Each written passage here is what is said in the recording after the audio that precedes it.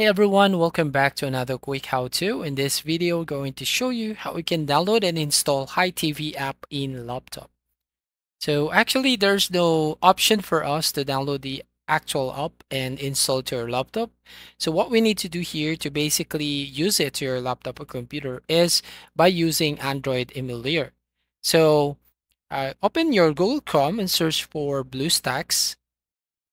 And then here on the search results, you will find the BlueStacks website. So click on this uh, bluestacks.com and you will now go to BlueStacks homepage. So this BlueStacks is an Android emulator for Android devices for games or apps that available on some Android devices.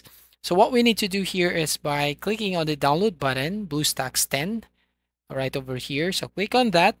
And once you click on the download button, then an exe file I will open and you will need to install this to your laptop. Now, once you've done install this exe file, then you just have to set up and then open up your BlueStacks X if you are finished installing this uh, file or application. Now, once you open your BlueStacks, then you will just need to wait for a few seconds here, depending on your internet connection. Now, as you can see, you will then, or you are now on your uh, main dashboard. Now, what we need to do here is click on this app player right from here on the uh, left side on your screen. Now, once you click on this app player, then it will open up your uh, BlueStacks app player. So again, you'll need to uh, wait for a few seconds here. So starting BlueStacks.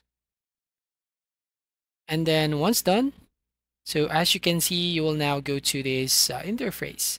Now what we need to do now is going to your system apps and then you will then select or need to select this Play Store. So uh, basically here, if you are first time to access this uh, Google Play Store, you will then need to sign in your uh, Google account. So make sure that you signed in your correct uh, Google account so you'll be able to access and install the HiTV app.